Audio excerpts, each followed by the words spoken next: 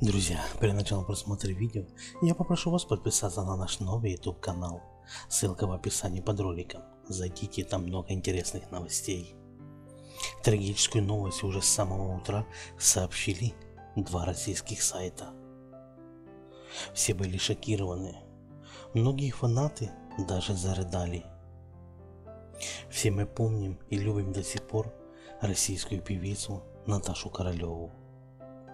Некоторые до сих пор с большим удовольствием слушают ее песни. Как говорится в сообщении, сегодня Наташу Королеву пригласили на один из молодежных концертов, где она должна была выступить и спеть свои несколько песен. Но она спеть так и не успела.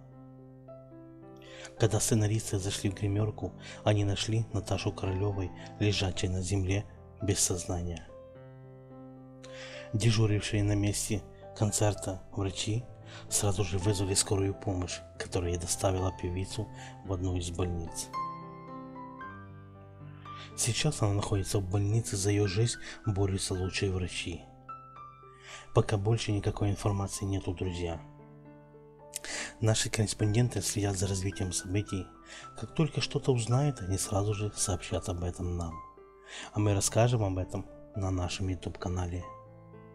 Давайте будем надеяться, друзья, в том, что с Наташей Королевой все будет хорошо.